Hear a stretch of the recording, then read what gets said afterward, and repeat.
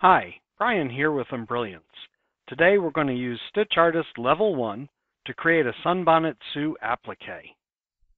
Let's open up a Sunbonnet Sue design. We'll click on Image, and this is one that I drew just to be royalty free. You can probably find something that suits your needs on the internet. Today we're going to do this with entering points using the point mode and we're going to create appliques. In past episodes, I've done some things with Magic Wand, and today I'd kind of like to get away from that. What I want to do, though, is first take a look at how the layers of the applique are going to be applied. I'm going to click S for selected and zoom in. Now, as we analyze this design, it's a very simple design, we see that there's a part here for her hat, one for the arm, one for the hand, perhaps one for the apron and the dress, and of course the feet. If we look at the layers, we probably want the feet to sew first, then the dress, then the apron, then the hand, then the arm, and finally the hat. And the reason for that is that there's hidden pieces. In other words, where the foot goes under the dress, we don't want to have the applique of the foot hanging out on top of the dress. That would just look silly. We can resequence these pieces um, after we're done, but it would be better if we could sort of plan our work. You'll find when you're taking any kind of lessons on digitizing that planning your work becomes a very important part of it. One of the first things we're going to do is zoom in on the area that we're going to work at. I'm going to use a 3 times zoom by pushing the 3 number on my keyboard. So I'm going to click on the screen and type the 3. And now I'm going to use my navigation to just get the area I want into view. You can always adjust that with the scroll bars. Now today I want to use the spline mode. The spline mode means I'll push this button down to turn it on. Spline mode lets us enter with a series of points rather than a series of Bezier curves. The points are easier to use for a beginning illustrator. Um, you probably have worked with something like this before where you just click along a line. Let's do that. Let's click with points. And I'm going to start drawing inside the dress because if we start right on the outline, we'll have applique on top of applique, and we really don't want those stitches to muddle together. So let's start with her foot somewheres in here and we're just going to click along. And get some points going for the foot. And we're going to come up here. And now I'm going to make this a straight piece by using my control key and clicking. And I'm going to right click to end the object. Now even though this object appears like it's closed, meaning that the line comes all the way around and meets itself, we're going to tell the program that that's a closed shape, and that benefits us when we do applique. What we're going to do next is apply some stitches. And we now have an applique foot. Let's go ahead and adjust the properties and put a fabric preview on, and we can zoom out to see what we've created. Now that we've got that foot in place, let's just go ahead and click on it to select it and we'll do a copy and a paste and we're going to take that duplicate foot bring it over and we'll rotate that a little bit and move that up. That was pretty easy. But one thing we might like to do is to create a traveling stitch underneath so that we don't have a jump. Let's take a look at our objects. We have two applique objects and what we want to do is insert an object right in here.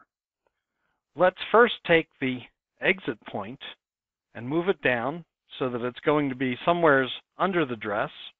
And if we select this object, we've got a nice start point that we can set right there. Now, let's click with some points and we'll create a new object. We'll start right after that.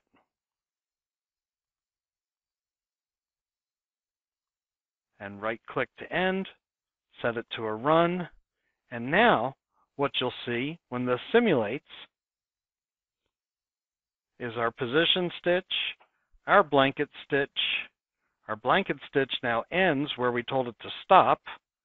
The run comes across and begins the second foot.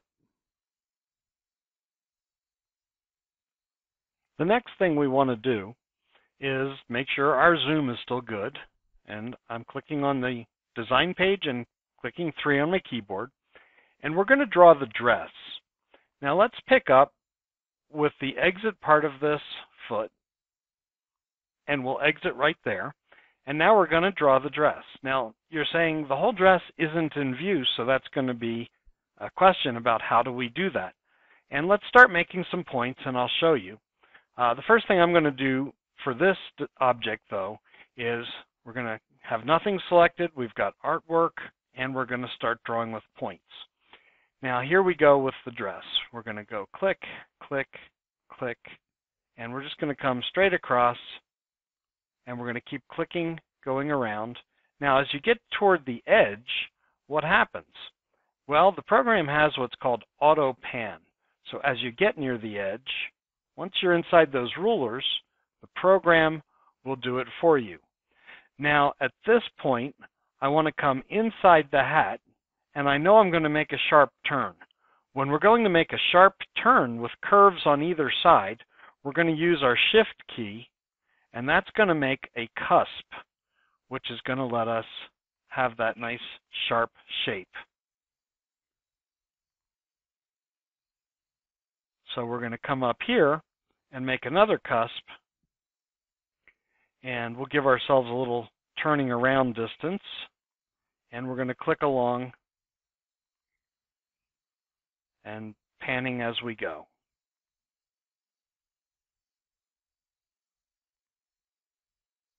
You don't need too many points. In fact, most people would argue the fewer number of points that you can use to create the shape, the better off you are. We're almost back to our home position right here. In fact, I'm just going to use the control key and control right click, which will close the shape for me. Now that we have that done, let's set an applique on it and we'll change the color so that we have something different to look at. And I'm going to click in my design space and click A so I can see the whole thing put together.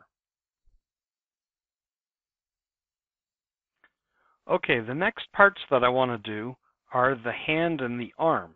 Of course, I can't see them with my fabric preview turned on, so I'm going to click on the object to select it, go to my applique properties, and turn that fabric preview off. This is helpful so that I can see what's going on. Now, even though we began the object down here at the foot, what I really want to do next is probably the hand. So if I want to get to the hand, I have to have a way to hide the stitch under the arm coming to the hand to applique it. So we're going to take the exit point of that shape and bring it up here somewhere. Now we're going to insert a run. So I'm going to click off of that selected object and I'm going to say that I want to run and I'm going to work with points and I'm just going to make a traveling run that's going to come down here somewhere. Doesn't have to be anything fancy, just a basic single run. This is a traveling run that gets you from point A to point B that's going to be hidden under other stitching or other applique. Now that we're here, let's use our 3 key to zoom in again, and let's create the hand applique. How are we going to do it? Well, we're going to go basically the same way. I'm going to use draw with points, and I'm going to click along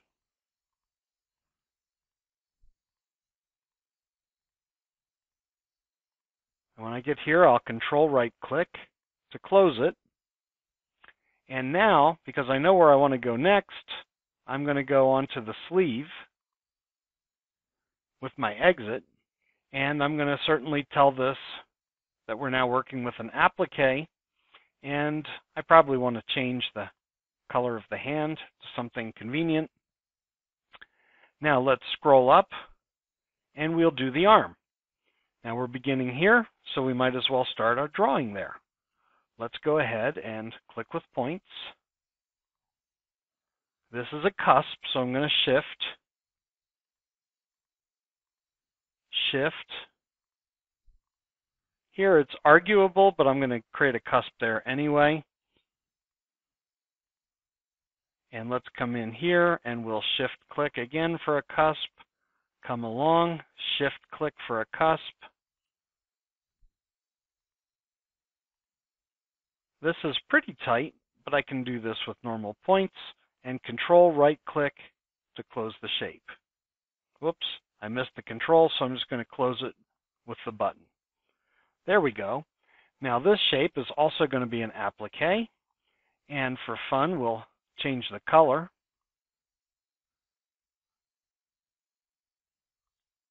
How about a nice green arm? Okay. And if you'd like to see it with the fabric preview on, and we can also go and turn the hand on right here. And the fabric preview actually picks up the color of the position. So I'm going to use the palettes of what I have currently on the design page, pick up Cucumber Melon. And if you're wondering if I plan these colors in advance, no, I really don't. I just choose something that's going to work for the purpose of the video while I'm recording. You may be wondering what we're going to do with the apron on this. And although we could overlay one applique on top of another or make it more complicated, I thought it might be good to try using a motif stitch just because we haven't done that in any of the videos so far. Now, let's not neglect our entry and exit point here. The entry is fine, but we want to move the exit point up here, so that's where the needle is going to be when the arm is finished stitching. Now, we're going to pan a little bit. Let's see, can I get it all on the screen? No, I can't get it all in the screen, but I do know where I'm going to start, so we'll use the auto scroll, which happens for us automatically.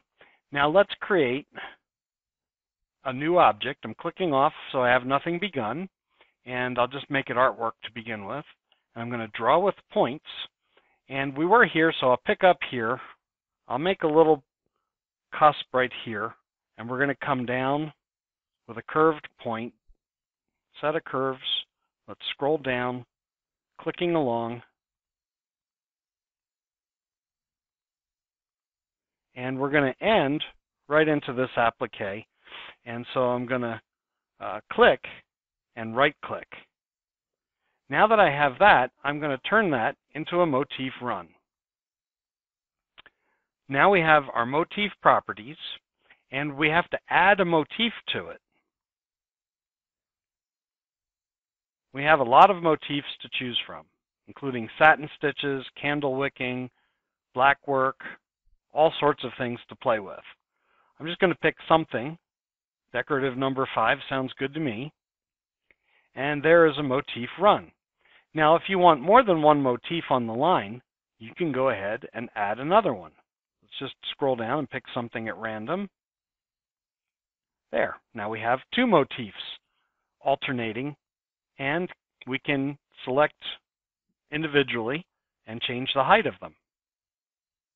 That might be a little too big. Let's go back to something there. I like that. Okay, now let's go take a look at the hat. We're going to have a color change, which is going to create a jump stitch for us anyway. So let's come and take a look at how we would do this hat. I think the hat is going to be done something in a way very similar, where we're going to create an applique, and then perhaps we'll use a fixed width satin stitch across as the uh, hat band. So let's start by thinking if we're going to create a hat band somewhere around here, we might as well create our initial applique starting around here since we're jumping over to it anyway. So let's click off to make sure we have nothing selected. And we'll just start by drawing with some art. We'll draw with points. And it doesn't matter which direction we go. We're just going to begin clicking. let our scroll do some work for us.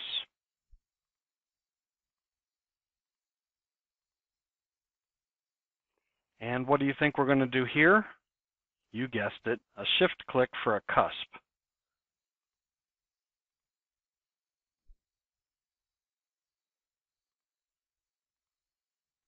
Same thing here, a shift click for a cusp. Drawing on the imaginary line. Shift click. Now this is actually going to be a straight point back to the end, so I'm going to control click. And now I right click to end the object, and I'm going to tell it, yes, in fact, this is a closed shape. And we'll go ahead and put an applique on it, the way we've been doing. And of course, we could fool with the colors, but what I really want to do is turn off the fabric preview and scroll this so that I can see where I want to put my satin stitch band. Now my satin stitch band, I think I'm to, just going to use a fixed satin border. So let's click off the object. We'll start a new shape and we'll start right here and click along. One last point right click to end, tell it it's a satin border, and you may want to adjust how this sits on those outlines. That's basically going to do it. So now let's go and turn some of these previews back on. We'll set the colors. I don't think we want to use that color for this, so let's go back to threads and pick something different. Okay, now let's zoom out and scroll down. And we can, of course, turn on the dress applique. And now we have a completed Sunbonnet Sue. I'm going to click A on my keyboard so that we can see the whole thing.